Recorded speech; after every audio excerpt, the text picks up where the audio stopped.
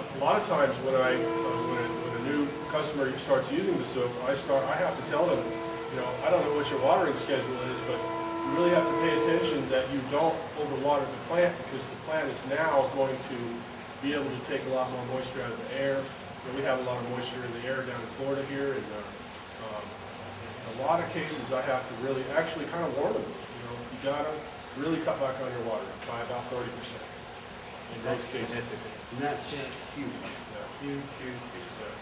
You know, another thing I don't believe was talked about in this conversation is the fact that it produces more blooms, bigger blooms, brighter blooms. Mm-hmm. Thus it converts over into a citrus tree or fruit, bigger fruit, sweeter fruit. Mm-hmm. So those are attributes that are fantastic. Those are just sort of byproducts of making the plant healthy, making it back to where it needs to be. Exactly. And again, I think that's what I keep hearing us talk about. We're really talking about the health of the plant. Absolutely. We're- We're not, we're not talking about making the plant do something that wasn't, it wasn't made to do in the first place. Mike, right here, just going to Dr. Hesser's conversation yesterday, and so we learned that from Dr. Fesser. Go right in and talk a little bit about that. Um, uh, Yesterday, we were traveling with Dr. Leon Hesser, and and, uh, uh, some folks will recognize him as working with Dr. Norman Borlaug in the 60s. uh, And those folks developed quite a number of strains of wheat and other uh, products to help alleviate much starvation in the world. And, Pretty amazing work they did if you if you do some research on it. And um, uh, Dr. Hesser was traveling with us yesterday, and he, he was talking too about uh, the importance of a, uh, again, of a healthy plant, the importance of a, of a plant that, that can draw on the nutrients from, uh, uh, from the ground the way it should, draw on the nutrients from the air the way it should.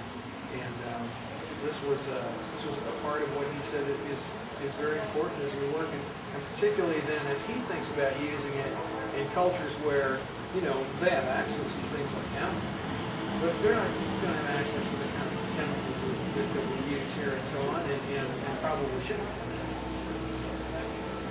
Uh, so he's, he's very, very much using this product, uh, right now in, uh, in the Ukraine, in, in, uh, uh, what used to be, or in what is now the country of Russia, uh, to help, uh, uh, increase their yields there and to try and help them, uh, continue to, um, what's the word I want? Not feed their population Yeah, at a lower cost. Feed their populations at a lower cost.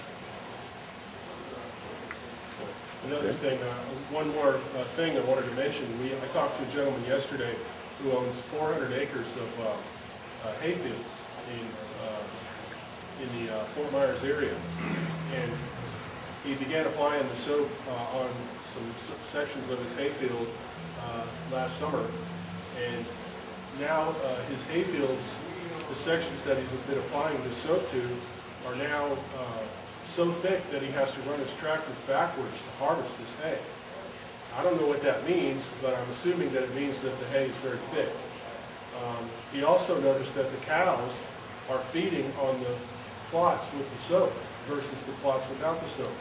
So what that tells me is that this hay has enabled, or this grass has enabled it um, to extract more nutrients out of the soil and the air, raise its sugar levels, raise its nutrient levels, to the point that a cow will actually go and eat the grass that the soap has been applied to. So um, when we see a cow putting his head through a fence or a a horse and eating the grass on the other side of the fence, that doesn't necessarily mean that uh, he thinks that it's better over there. It probably is better. Um, And so um, getting back to raising the sugars in a, in a plant, if we can raise the sugars uh, in our grasses for our cattle, what, you know, what would that do for our crops? If we could, um, cows aren't stupid, you know, they know, uh, they know what has more nutrients in it, and that's what they're gonna eat.